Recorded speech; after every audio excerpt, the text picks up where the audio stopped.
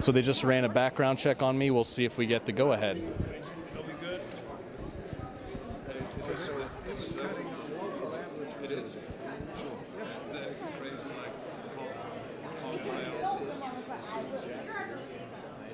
Oh, yeah.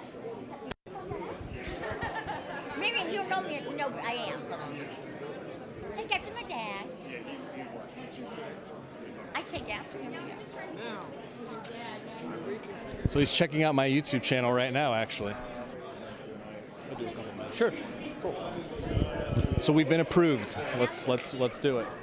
So Mr. Gorka, we're out here at CPAC today. Uh, why are you out here? Why? Because I have a national radio show and I broadcast from hey, I broadcast from Radio Row three hours a day today and tomorrow. And because uh, before the president gets here on Saturday, I have the honor of addressing everybody at CPAC Saturday morning. So the First Amendment is something we all obviously cherish. A lot of times we're seeing in the modern day, a lot of these voices are trying to be suppressed. Uh, you know, even sometimes by the right, sometimes by the left. Uh, a lot of times by the left, a lot more. But uh, Mostly. yeah, sure. So do you believe this First Amendment is something that we really need to protect right now? And how do you feel like we can really defend that in the modern day? Oh, absolutely. If you look at the fact that these platforms that through their lobbyists manage to carve out an exemption for themselves as non-publishers, I mean the social media platforms like Twitter, like Facebook, like Instagram, uh, are not liable for anything that happens on their platforms, but think that they get to police the First Amendment rights of Americans by shadow banning, by suspending, or by giving only the vaunted blue check mark to their buddies. Oh, absolutely. The First Amendment is under assault in ways that we haven't seen in generations in America.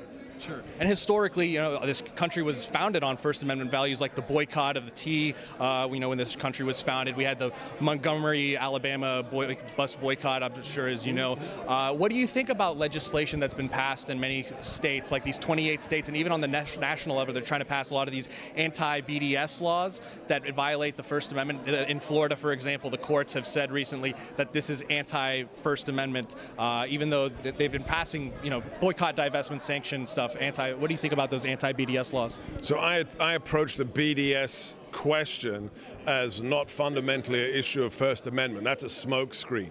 Uh, this is uh, the modern form of anti-Semitism. If you understand the BDS movement's origins and what it's really about, it is a movement to deny the legitimacy of the modern Israeli state. And as such, it is absolutely reprehensible that we have leading lights of the Democrat Party, such as Alexandria Ocasio-Cortez, who are proud supporters of the BDS movement. This is just anti-Semitism under a new cloak. So, no, anybody who talks about First Amendment rights, it's a smokescreen. This is the new form of anti-Semitism and needs to be recognized as such and rejected by all decent Americans of any religion. Sure. So you you agree with the left when they say hate speech is not free speech?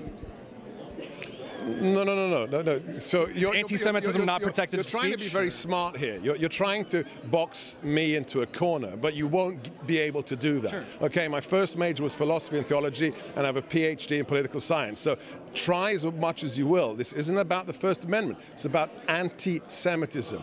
Hate speech. It's not protected first speech Hang- hang to be anti-Semitic. Let me finish. Let me finish. I'm talking about an ideology, okay?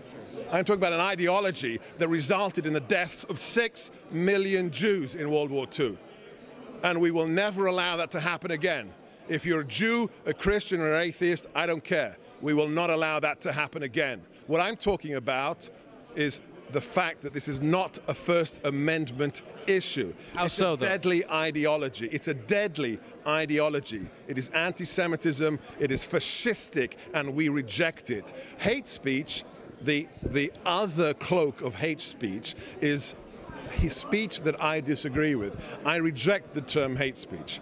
I think it's uh, an oxymoron. It's absurd. Hate speech is the, another level, another weapon, another cudgel of the left that they think they can use to silence those they disagree with. Um, and, and let's be, if you want to get really technical here, uh, First Amendment rights, to use the vaunted uh, shouting fire in a crowded theater. First Amendment rights aren't absolute. Rights aren't protects you being racist, right? And buying products that you yeah, want but it doesn't protect. It doesn't protect you from from being covered in the veneer of a decency when in fact you're a Jew hating anti Semite.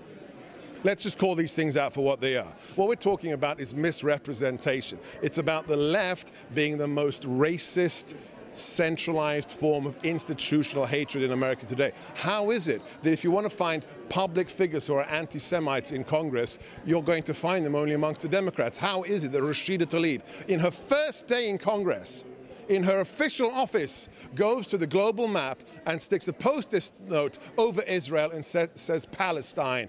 That's what we reject. The It's not protected speech, what she did. You don't Again, think that? you're trying to be smart, No, but trying you're to ask. failing. I'm Okay. trying to ask. No, we reject the ideology that these people represent. Well, you're putting it into legislation, though, that actually infringes I'm not on their putting rights. anything in No, but you're saying you support that legislation, yes or I'm, no? I'm not. I, did I say that? So did you- I say? well, did so- I say that? But you're, did but- I say that? But you're speaking against Did it. I say you're that? speaking against my I- characterization. I'm of it. talking of, no, no. I'm talking about. I'm talking about misrepresenting an ideological threat that has cost the lives of millions Okay. as a First Amendment issue. Well, then it's you, just do, not. It's do you- just do wrong. support anti-BDS legislation then? No, I want to see. No, the you don't. I want to see the BDS recognized for what it is. Can you answer the question? Do you support anti-BDS legislation like the 28 I would, states I would passed? like to see legislation that recognizes the BDS movement for modern anti-Semitism. Okay, but do you support the current anti-BDS I have to legislation? See exactly what it Sure. says. If it, if it's if it is limiting general right to speech, no. Okay, because right, right now people We're done. they've they've We're done. they've turned turned away disaster relief, federal disaster relief from people who wouldn't sign a pledge Dude, to not buy BDS certain. is modern anti-Semitism, and that's my issue. so you, end of story. You don't you're okay End with people being denied disaster relief if they wouldn't sign a pledge? I, I'd have to That see. happened in the state of Texas. I'd have to see the papers. I'd have to see how the legislation actually resulted in that. Well, I appreciate your time. Thank, Thank you. you.